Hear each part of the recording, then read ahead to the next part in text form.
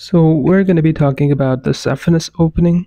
In this diagram, you can see the saphenous opening is right here, this one. Uh, through the saphenous opening, a vein passes, which is called the great saphenous vein right here. This passes through it. And the saphenous opening is covered with fascia that has pores.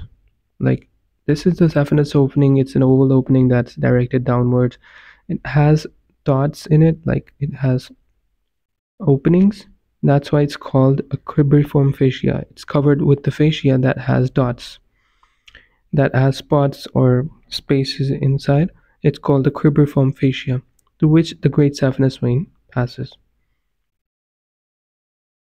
If we talk about the location of this opening it's 4 centimeter below and 4 centimeter lateral to the pubic tubercle you can see that this is the inguinal ligament.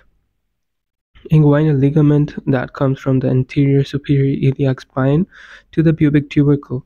If we move downwards from the pubic tubercle 4 centimeter uh, below and 4 centimeter lateral to the pubic tubercle. We're gonna we're gonna look uh, we're gonna see this thing. This is called the saphenous opening.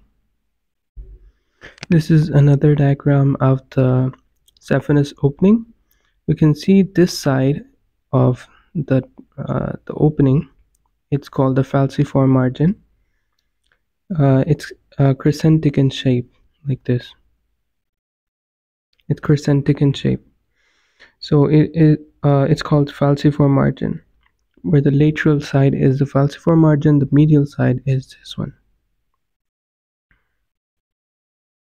Medial side lies a little bit deeper uh, but it's still in the deep fascia where the lateral one is a little bit outside